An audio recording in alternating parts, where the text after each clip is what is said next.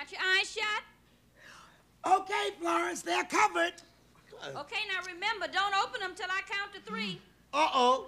She's finally gonna make it past two. George. One, two, Come on, baby, you can do it. three. All right.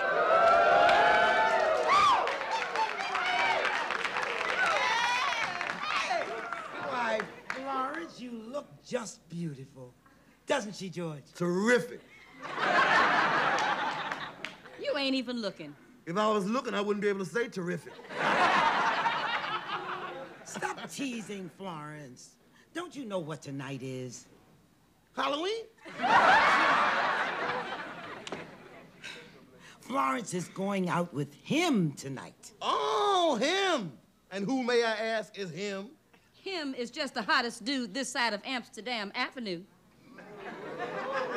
He reminds me of you, Mr. Jefferson. Oh, he does? Yeah, I mean, he's so different. He's tall and you're short. He's handsome and you're. Okay, I heard nothing. Where is this dreamboat taking you? Oh, honey, we're going out bumping tonight. I could have bumped all night. I could have bumped all night. I haven't been out dancing in years. Well, why don't you make him take you dancing? We were going out, but Mr. Jefferson is tired. Well, that's what you get when you marry an older man.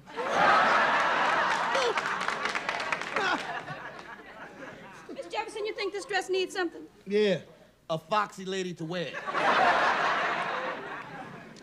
A little jewelry might be nice.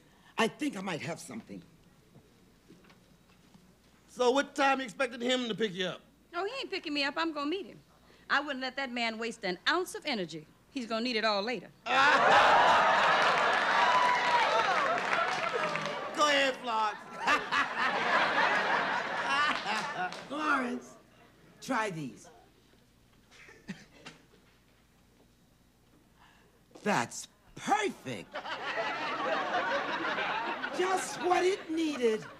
Oh, Miss Jefferson, they're beautiful. You sure it's all right for me to wear? Of course.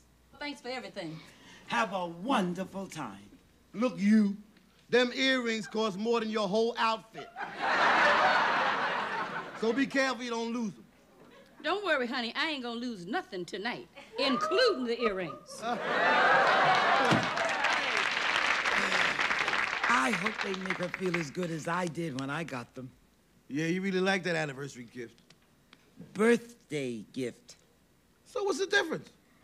The difference is you forgot our anniversary. Look, Weezy, I ain't gotta wait for no anniversary to buy you things. And besides, if you like them earrings so much, how come you let the maid wear them? Because she can't hurt them. And because she went out tonight to have some fun like we were supposed to. Weezy, I told you I'm beat tonight. Oh, don't give me that. You really didn't want to go to the ballet with me. Why don't you just admit it? Okay, I admit it. I didn't want to go see a bunch of those dudes running around in their drawers on their tippy toes.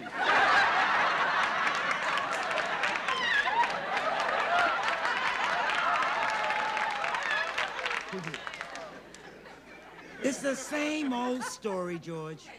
When I want to do something and you don't, you manage to get tired awful fast. Why the hell you have to pick the ballet? Because we have never been to one. We ain't never been to a leper colony either. that don't mean we gotta go. You don't understand, do you? Just once, I would like to do something I want to do and have you go along without a fight. Who's fighting?